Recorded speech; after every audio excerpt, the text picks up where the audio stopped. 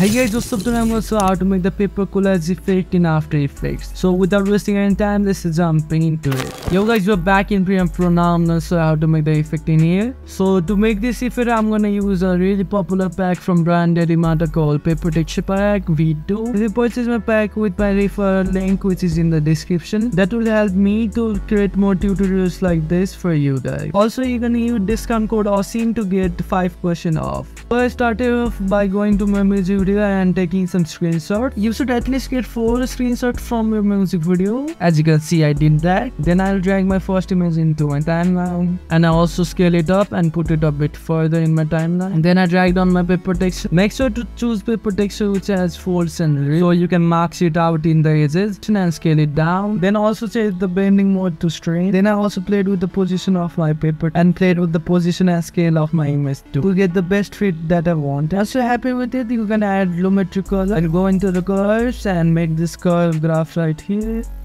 Then select both click, right click and nest it. Then in your nest keep in opacity the um, pen tool icon to make a mark. As I told you, choose a paper texture which has some rips and folds and marks around the edges. Once you mask it out, lower down the feather to zero. Then you can nest it again. Then add a effect called drop shadow. You can play with the distance, softness and opacity to get the best look. Once you do that, go 3 frame forward and import your another clip and repeat the same process 3 more times.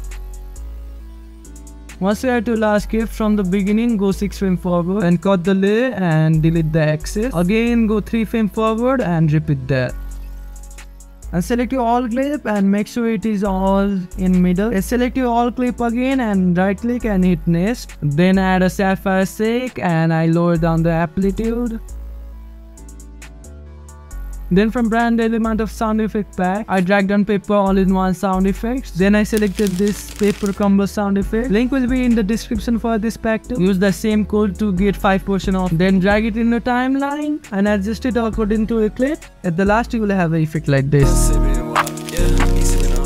So that's it for today's video guys and big shout out to Bryan Delimata for supporting small creator like me. Like this video, hit the like button and subscribe for more videos like this. See ya later. Bye.